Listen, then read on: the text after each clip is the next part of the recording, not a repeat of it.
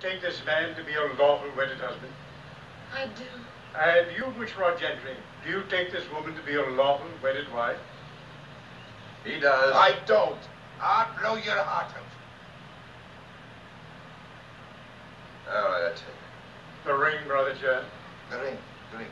There we go. Okay, use this one. Might big, maybe, uh, but it'll do the trick. Uh, put it on a finger. Now say, with this ring I thee wed. This ring I thee wed. I now pronounce you man and wife. Now kiss the bride. I'm dogged if I will. Now look, son.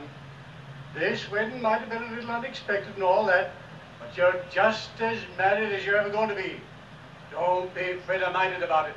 Now, this girl is your wife, and I want you to take care of her. I do not want to see her a widow so soon. Now we'll all go back and have a drink to celebrate.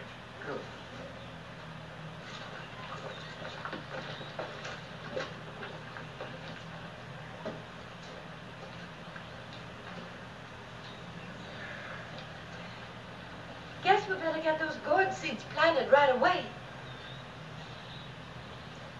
Is it that scurrilous being married to me? I'd as leave be tied to a cinnamon bear. Why'd you do it?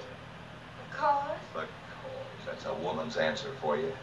You know you lied. Who was it? Who was it ought to be shot? That mule brand Luke Radford, probably. That's it. It was Luke, wasn't it? No, Bushrod, it was you. Me? But you just fessed up to lying. Changed my mind. It was you, Bushrod. Oh, I'm stiff and sore and all pounded on. Meeting up with you was like declaring war on France or some other big country. You're really going? Right now, alone.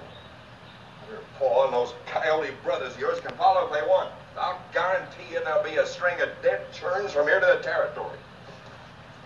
Go on and go. That's the kind of husband you turned out to be, I won't stop you.